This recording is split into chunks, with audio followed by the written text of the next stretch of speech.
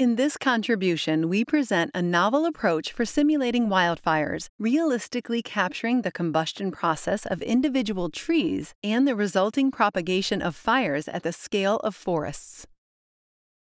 Detailed branch geometry is used, which allows us to realistically capture the three dimensional fire spread. This cannot be easily covered with other representations or statistical models. For example, when a tree underneath another tree is burning, fire can spread vertically as illustrated here.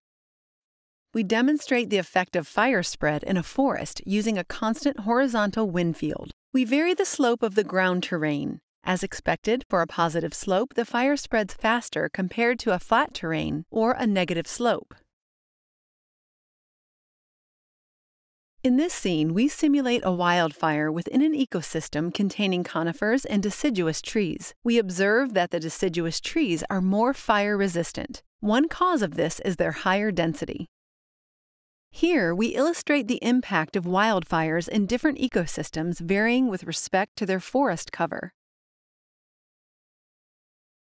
To evaluate wildfire management, our model allows to interactively extinguish fire by manually distributing fire retardant.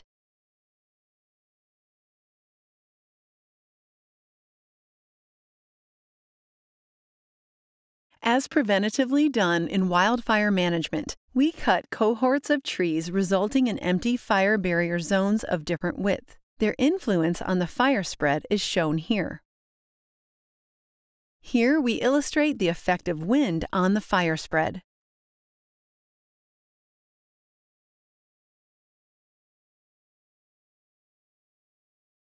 We simulate a complex wildfire originating from a randomly positioned fire source which could be caused by a lightning strike. The fire spreads within the valley around Half Dome in California's Yosemite National Park. The simulation runs at interactive rates.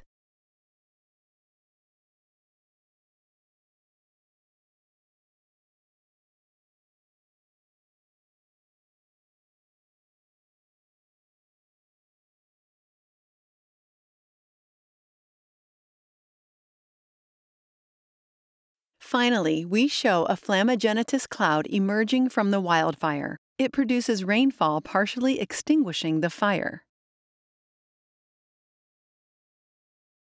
Here, a more complex flammagenitus cloud is shown. While dark smoke is present at lower altitudes, the condensation of water at higher altitudes results in a white cumulus type cloud.